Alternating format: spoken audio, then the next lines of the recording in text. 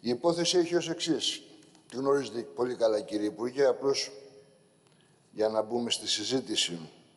Ε, τις αρχές Γενάρη του 2010 βγήκε μια απόφαση της Γενικής Γραμματείας Εμπορίου με την οποία επιβάλλεται πρόστιμο χιλίων ευρώ στα καταστήματα μαζικής εστίας που πουλάνε χήμα τσίπουρο όταν αυτό, ή τσικουδιά όταν αυτό καταγράφεται ως τσίπουρο ή τσικουδιά.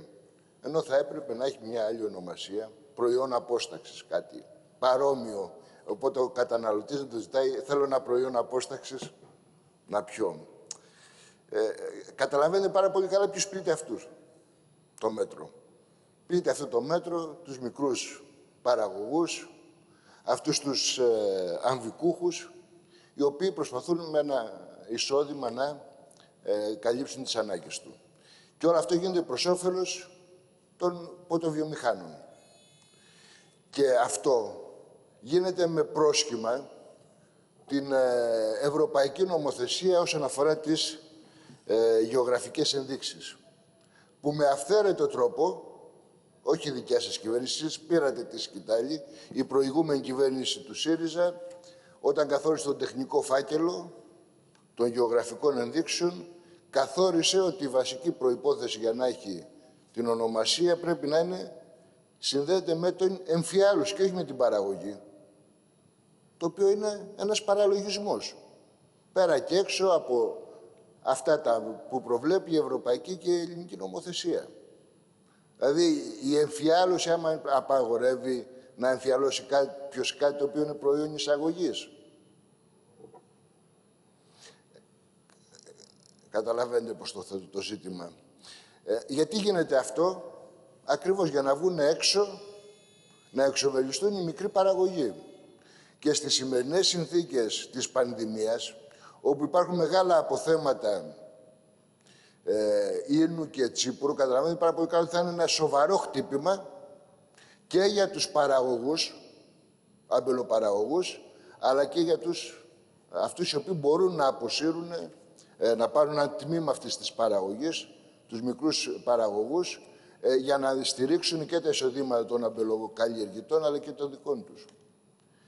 Γιατί υπάρχει κίνδυνος πραγματικά το επόμενο διάστημα ε, τα αμπέλια να, και η παραγωγή δηλαδή να ε, καταστραφεί μέσα από αυτή τη διαδικασία ή οι ποτοπαραγωγοί, οι μεγάλοι εμφιαλωτές να επιβάλλουν εξευτελιστικές τιμές ε, απόσυρσης των προϊόντων. Από αυτήν την άποψη είναι φανερό τι πρέπει να γίνει.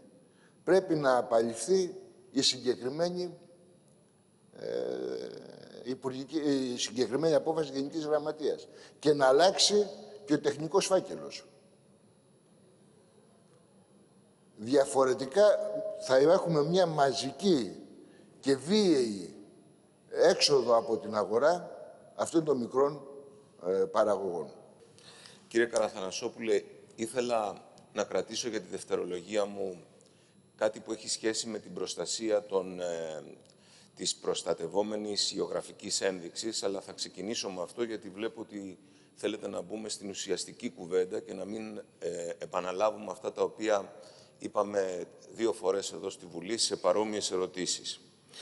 Ένα από τα βασικά, ε, ε, από, τις, από τις βασικές επιτυχίες που είχαμε ως χώρα είναι ότι εγκλωβίσαμε αυτό το προϊόν, την ονομασία αυτού του προϊόντος εντός της επικράτειάς μας. Δηλαδή, με μία γρήγορη κίνηση ε, και καταθέτοντας ένα τεχνικό φάκελο, καταφέραμε και προστατεύσαμε το προϊόν και δεν είχαμε διαρροή της ονομασίας αυτού του προϊόντος σε άλλες, ε, σε άλλες, σε άλλες χώρες.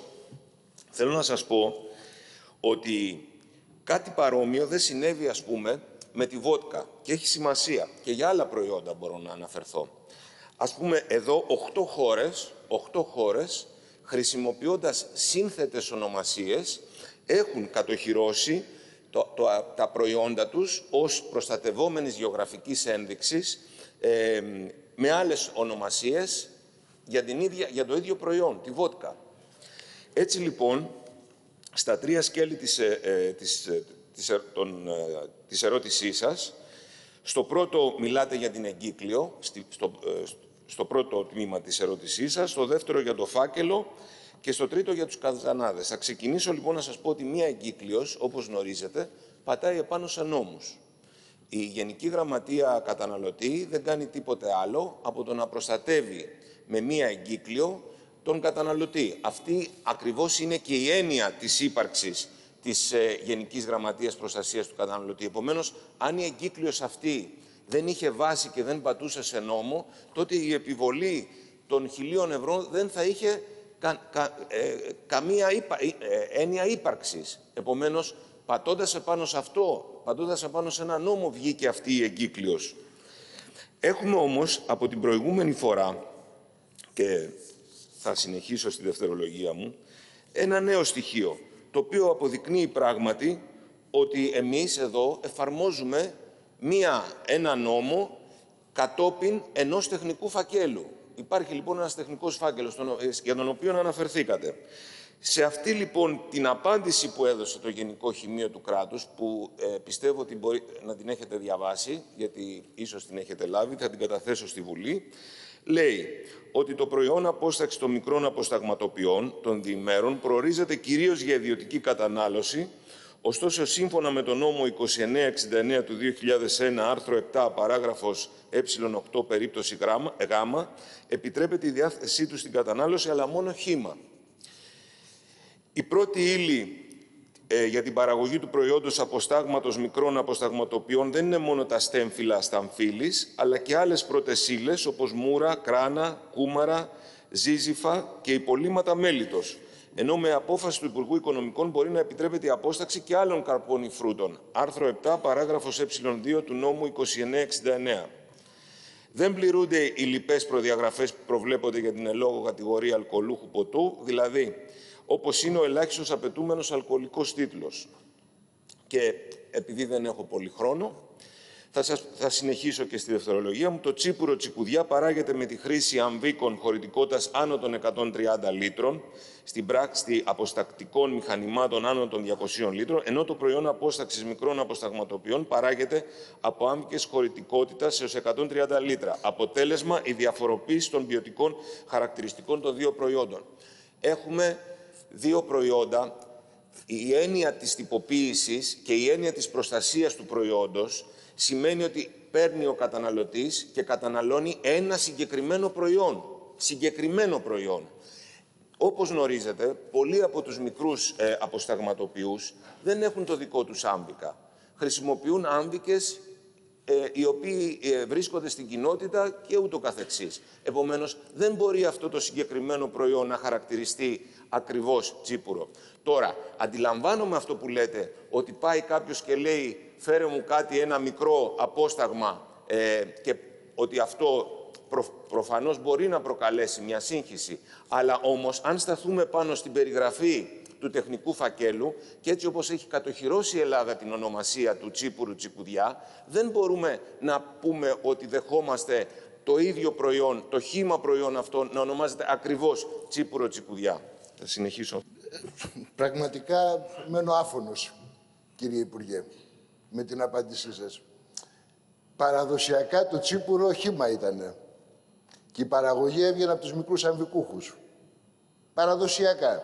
Και η τσικουδιά. Μετά ήρθε η εμφιάλωση. Τώρα να λέμε ότι αυτό μπορεί να μην είναι τσίπουρο, να είναι κάτι άλλο, εδώ η επιστήμη και η ιστορία σηκώνει ψηλά τα χέρια. Βεβαίως μπορεί να υπάρχουν αποστάγματα από διάφορα φρούτα και από διάφορους καρπούς, αλλά αυτό δεν είναι τσίπουρο. Είναι κάτι άλλο. Το τσίπουρο και η τσικουδία προέρχεται από τα μπέλη. Και μάλιστα το παραδοσιακό τσίπουρο και η παραδοσιακή τσικουδία είναι διαφορετική η τεχνική με την οποία παράγεται από αυτό που κάνουν μεγάλη ποτοπαραγωγή. Που εμφιαλώνουν. Οι οποίοι έχουν τη λάσπη, το υπόλοιμα που περισσεύει από την παραγωγή του κρασιού. Ποια λοιπόν ανάγκη προστασίας του καταναλωτή μας λέτε τώρα; Εδώ είναι συγκεκριμένη η επιλογή. Είναι συγκεκριμένη η επιλογή. Ποιον συμφέροντα εξυπηρετείται με αυτή τη διάταξη; Τα συμφέροντα των μεγάλων παραγωγών, των ποτοβιομηχανιών. Αυτό είναι τα συμφέροντα εξυπηρετείται. Και είναι καθαρό. Είπατε για τη μεγάλη προσπάθεια την οποία κάνανε οι κυβερνήσεις να κατοχυρωθεί η γεωγραφική ένδειξη. Για ποιο σκοπό την κάνατε; Την κάνατε για να βοηθήσετε τους αμπελοπαραγωγούς; Να έχουν καλή τιμή στην πώληση των, των σταφυλιών. Την κάνατε για τους μικρούς αμβικούχους, όχι. Με βάση την απάντηση που δώσατε, τη γεωγραφική ένδειξη την κάνατε για τους βιομήχανους. Εσείς το είπατε καθαρά, βγαίνουν από τα λεγόμενά σας. Τότε τι να την κάνουμε τη γεωγραφική ένδειξη; Για να εξασφαλίσουν περισσότερα συμφέροντα και δικαιώματα η παραγωγή, η βιομηχανή. Γι' αυτό γίνεται. Ή για να προστατευθεί το εισόδημα των αγροτών. Το αντίθετο σημαίνει και σας λέμε σήμερα υπάρχουν τεράστιες αδιάθετες ποσότητες σε ίνο. Σε τι τιμή θα πουλήσει λοιπόν ο παραγωγός; Το σταφύλι του. Παρά, και αν θα το πάρουν, και εδώ πέρα υπάρχουν και διάφορες σκέψεις οι οποίες γίνονται από το Υπουργείο για μαζική καταστροφή της παραγωγής και να αποζημιωθεί η παραγωγή αυτή στο 60%. Δηλαδή να αντιθάψουμε θαυτικά. Αντί να μπορεί ο κόσμος να έχει πρόσβαση πολύ πιο εύκολη, πολύ σε φτηνότερα ε, αγροτικά εμπορεύματα. Τα λαϊκά στρώματα. Και από αυτή την άποψη λοιπόν το λέμε καθαρά. Αυτό το οποίο βάζει μέσα ο τεχνικός φάκελος που συγκροτήθηκε επί κυβέρνησης ΣΥΡΖΑ είναι αυθαίρετο. Είναι μια διασταλτική ερμηνεία των νόμων και της Ευρωπαϊκής Ένωσης και των ελληνικών. Όταν λέει ότι η γεωγραφική ένδειξη δίνεται μόνο στην εφιάλωση. Είναι παραλογισμός και όχι στην παραγωγή. Ενώ είναι η παραγωγή της γεωγραφικής ένδειξης και όχι της εφιάλωσης. Άρα λοιπόν πρέπει να το τροποποιήσετε και τον τεχνικό φάκελο πρέπει λοιπόν να τροποποιήσετε και να αποσύρετε με βάση αυτή τη συγκεκριμένη απόφαση για την επιβολή προστίμου χιλίων ευρώ. Έτσι λοιπόν θα μπορέσει να υπάρχει διαφορετικά οδηγείται με μαθηματική ακρίβεια στη βίαιη, στο βίαιο εξωστρακισμό των αμβικούχων, των διήμερων παραγωγών. Και βεβαίως σε κατάρρευση του εισοδήματος των καλλιεργητών της Αμπέλου. Όλα τα υπόλοιπα είναι απλά προφάσεις αναμαρτίας, κύριε Υπουργέ.